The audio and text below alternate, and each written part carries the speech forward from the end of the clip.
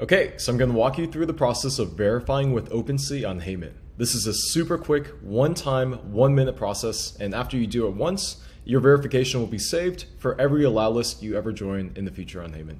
So to get started, just click the connect button next to wallet, click verify with OpenSea, then go to your MetaMask or whichever browser wallet you use, copy your address, paste that right here, then click and copy this verification code, go to your OpenSea settings page, log in with MetaMask or whichever wallet you prefer, click sign, then copy that string over to your username, click save, wait until OpenSea actually tells you it's successfully saved, then click verify down here. It'll say verification process, verified, you're all set. Last thing to do, go back to OpenSea, change your username back to what it was before, and that's it. That's the entire process, and you're all set. And Perfect. Now you can see you're all connected. That's all there is to it.